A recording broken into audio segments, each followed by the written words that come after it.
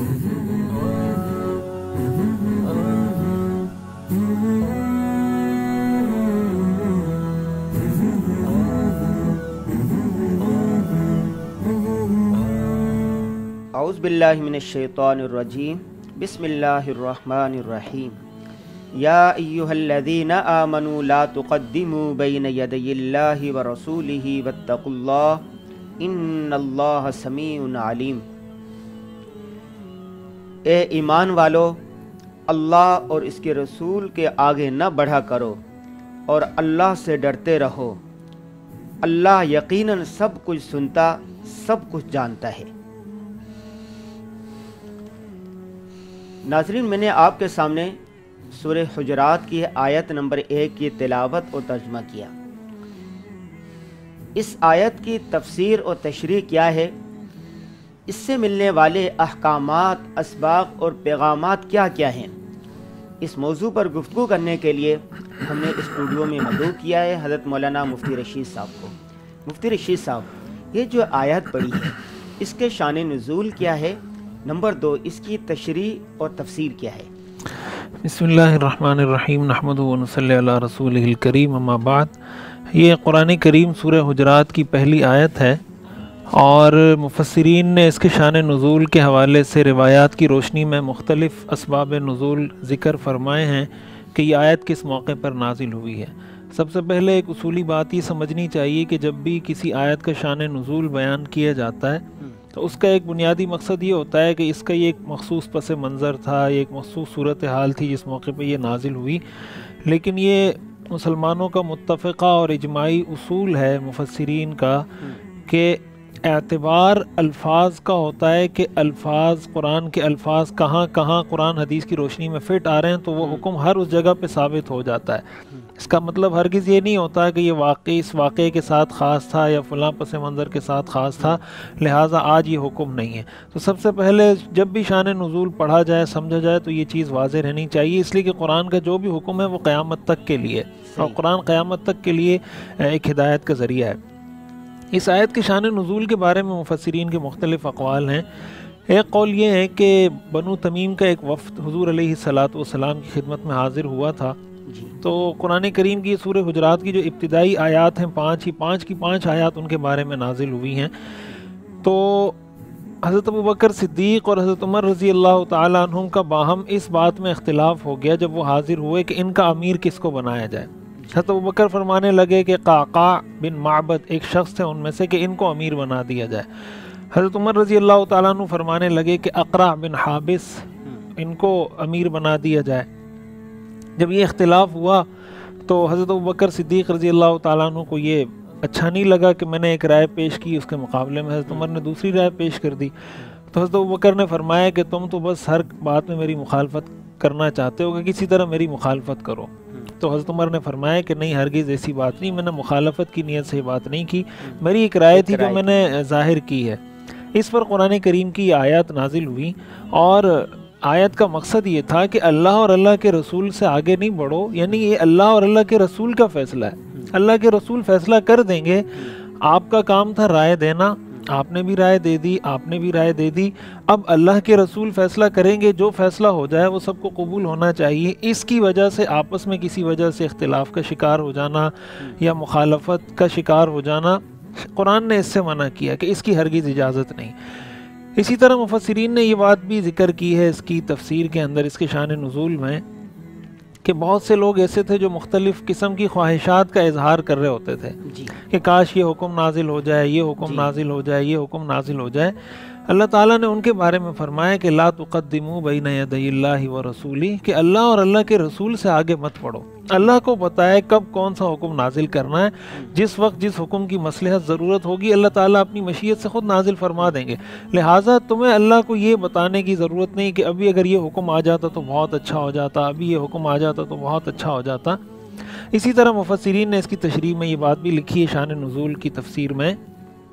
कि हजूर सलाम के दौर में कुछ लोगों ने क़ुरबानी की और ईद की नमाज़ से पहले क़ुरबानी कर ली। सुन्नत तरीक़ा यह है हजूर सलाम ने जो तरीक़ा बताया है उम्मत को वो ये कि पहले ईद की नमाज़ पढ़ी जाएगी उसके बाद कुर्बानी की जाएगी। यही वजह है कि फ़ुकाहा ने लिखा है कि जब तक पूरे शहर में किसी भी जगह ईद की नमाज़ अदा ना हुई हो तो पूरे शहर में कुर्बानी करना जायज़ नहीं होता। जब पूरे शहर में कहीं भी ईद की नमाज़ अदा हो गई उसके बाद कुर्बानी करना जायज़ होता है। हजूर सलाम ने इसीलिए फरमाया कि जिसने नमाज़ से पहले ईद अजी की नमाज़ से पहले कुर्बानी की, वो कुर्बानी कबूल नहीं, वो गोश्त है, खा ले। और जिसने नमाज़ के बाद कुर्बानी की, वो हकीकत में वो कुर्बानी है जिसको अल्लाह ताला ने और अल्लाह के रसूल सल्लल्लाहु अलैहि वसल्लम ने उम्मत के लिए मशरू फरमाया और उसका हुक्म दिया। इन सारे इसबाब नज़ुल को अगर देखा जाए, इसके अलावा भी रिवायत में मुख्तलिफ़ इसबाब नज़ुल का ज़िक्र है, लेकिन इनका आपस में कोई तारज़ या टकराव नहीं है। सारी चीज़ें मिलकर भी सबब नज़ुल हो सकती हैं इस आयत का। बुनियादी मकसद और बुनियादी तस्वुर आयत का यही है कि अल्लाह और अल्लाह के रसूल से आगे मत बढ़ो। जो अल्लाह और अल्लाह का रसूल कह दे, उसको मेनो अन तस्लीम कर लो। उसमें अपनी राय ज़ाहिर करने की कोशिश मत करो कि ये हो जाता तो यूँ होता, ये हो जाता तो यूँ हो जाता। और जैसे आपने बात की कि इसकी तशरी क्या है या इसका मफहूम क्या है तो अल्लाह ने यह फरमाया कि अल्लाह और अल्लाह के रसूल से आगे मत बढ़ो। अल्लाह से डरो। अल्लाह जानता भी है सुनता भी है। यानी अल्लाह को इल्म है अल्लाह सुनने वाला है जानने वाला है। तुम्हें अगर अपनी समात की वजह से अपने इल्म की वजह से अपने अक्ल शूर की वजह से ये लगता है कि यार ये हो जाता तो कितना अच्छा होता। तो तुम अपने आप को इतना बड़ा फन खान समझते हो, अपने आप को इतना समझदार समझते हो कि तुम अल्लाह को मशवरे देने लग लग गए। तो अल्लाह तो तुमसे बेहतर सुनता है, अल्लाह तो तुमसे बेहतर इल्म रखता है, अल्लाह को हर चीज़ की, अल्लाह ने तो तुम्हें पैदा किया, तुम्हारी अकल को पैदा किया, तुम्हारी आँखें, जबान, ये सारे आज़ाद तो अल्लाह ने तुम्हें पैदा करके दिए हैं। तो अगर तुम्हें एक चीज़ समझ में आती है तो तुम अल्लाह को नहीं बताओ। जैसे बाद लोग आज होता है ना, कभी कोई बात होती है, मिसाल के तौर पर पर्दे की बात आई। तो बहुत से लोग आपको मिलेंगे जो कहेंगे यार अगर पर्दे का हुक्म नहीं होता तो कितना अच्छा होता। ये तलाक की बात आई मिसाल के तौर पर लोग कहते हैं यार तलाक की इजाज़त मर्द को है औरत को क्यों नहीं? मर्द तलाक दे सकता है औरत तलाक क्यों अल्लाह के अहकाम नाजिल करदा अहकाम पर एतराज़ करते हैं। अल्लाह के नाजिल करदा अहकाम पर एतराज़ यानी बहुत सी चीज़ों मीरास में हिस्सा है मर्द का इतना हिस्सा है औरत का इतना हिस्सा है बेटे का इतना है बेटी का इतना है। तो कहते हैं यार अगर बेटी का ऐसा होता तो कितना अच्छा हो जाता। सूद हराम है तो कहते हैं यार अगर सूद की कोई गुंजाइश निकाल देते तो कितना अच्छा हो जाता। ये सारी वो चीज़ें जो अल्लाह और अल्लाह के रसूल से आगे बढ़ने की जिसको ममानियत है जिसकी ममानत है जिसको आम अल्फाज में कहते हैं ना डेढ़ होशियार बनना। हम्म।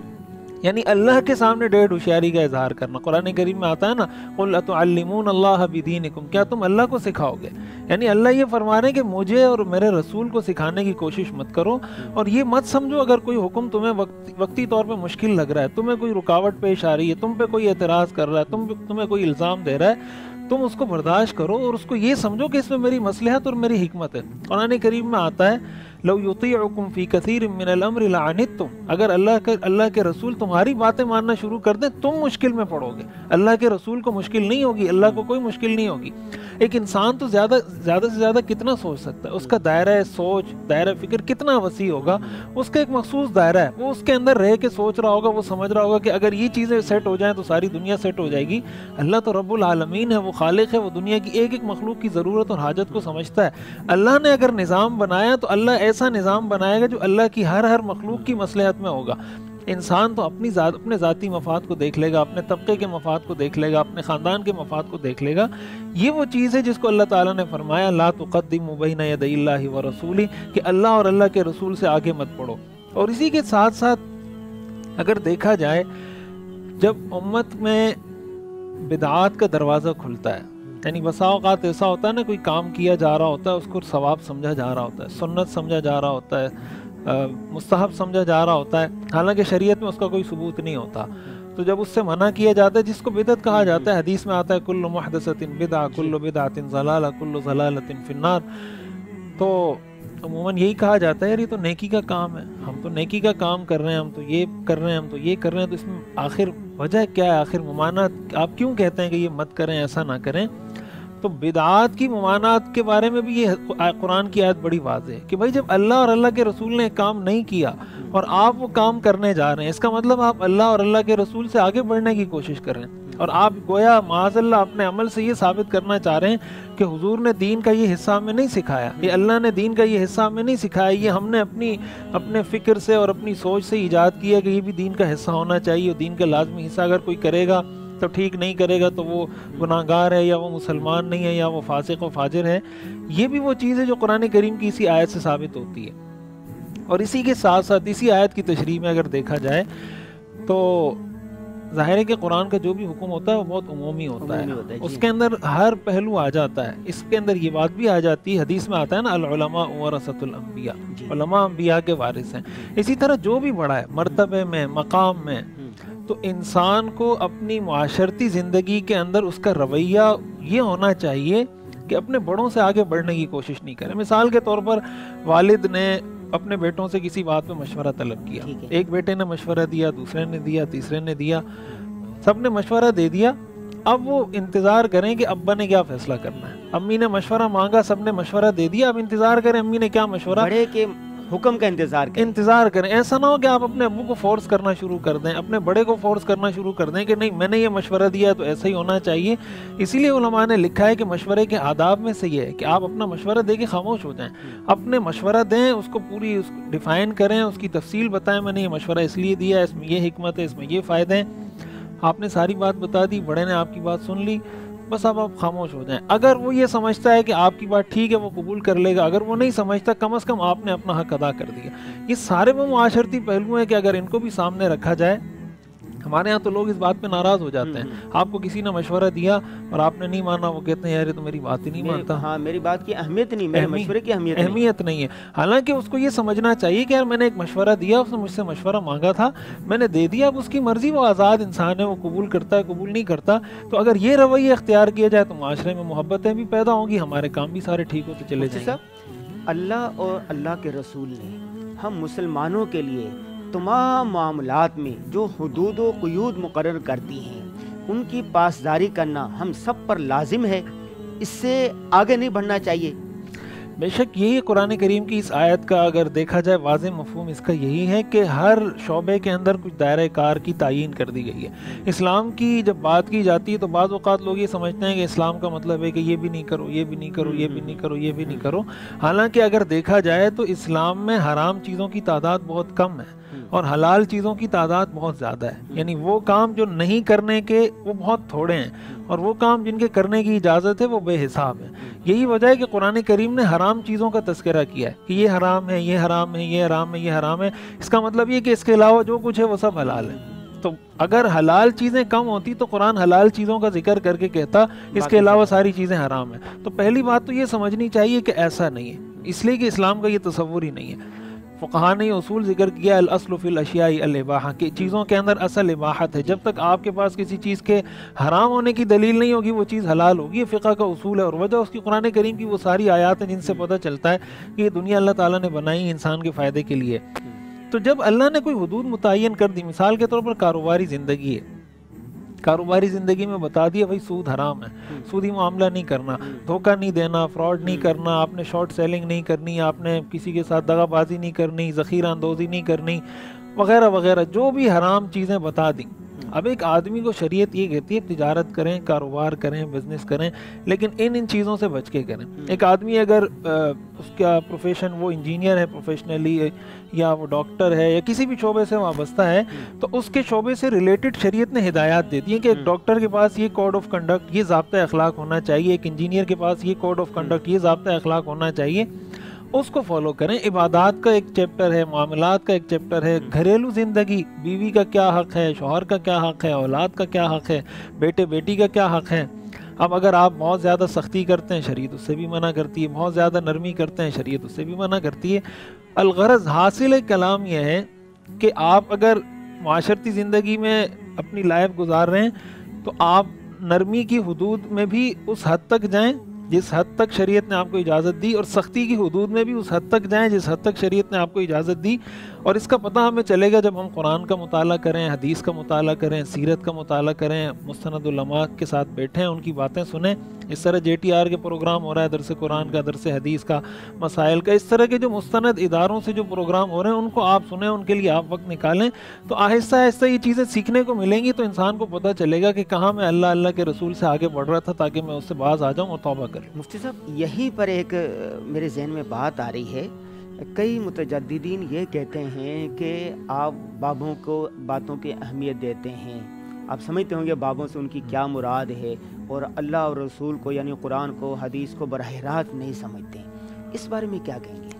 देखें ये तो महज अगर उन लोगों के तर्ज अमल को देखा जाए ना हम्म। तो उनके कहने का मकसद ये है कि आप दुनिया के सारे उलमा को फॉलो ना करें और अगर फॉलो करना है तो मुझे फॉलो करें। यानी दुनिया में सारे उलमा गलत हैं एक आलिम अगर दुनिया में ठीक है तो वो मैं ठीक हूँ। अब ज़ाहिर है कि ये तर्ज अमल तो तो आलिम नहीं है वो तो इंजीनियर है। इंजीनियर है और आलिम भी नहीं है और खुद ये तर्ज अमल कि आप सारी उम्मत को गुमराह करार दे रहे हैं। हजूर अली सलाम ने तो फरमाया मेरी उम्मत गुमराही पे जमा नहीं हो सकती। हम्म, और आपने सारी उम्मत के उलमा को गुमराही पे जमा करार दे दिया कि सारे उलमा ऐसे ही फासिक फाजिर हैं।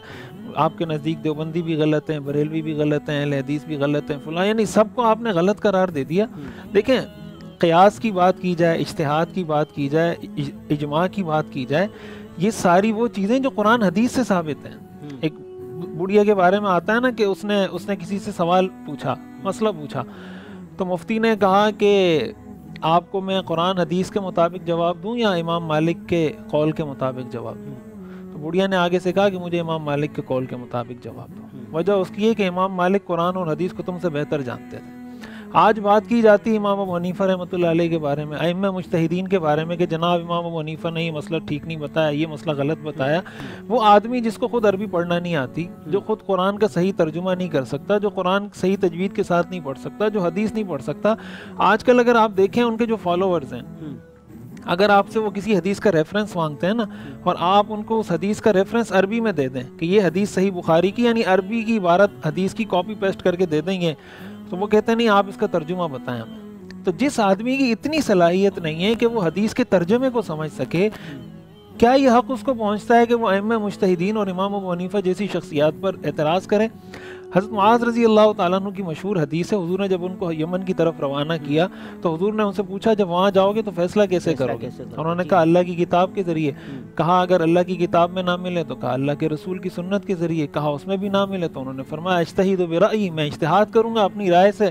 कुरान हदीस को सामने रखकर जो बेहतर होगा मैं उसके मुताबिक फैसला कर दूँगा। कुरान में आता है फस अलू अहल धिक्र हाँ। अहले इल्म से सवाल करो। हल यस्तविल लजीन यालमून वल्लजीन ला यालमून। क्या इल्म वाले और बगैर इल्म वाले बराबर हो सकते हैं? तो इल्म वाले जितने हैं वो सारे तो बाबे बन गए। और अल्लाह कह रहे हैं इल्म वाले और बगैर इल्म वाले बराबर नहीं हो सकते। और उनकी नज़र में इल्म वाले इल्म वाले हैं ही नहीं वो तो सारे बाबे वो सारे जाहिल हैं।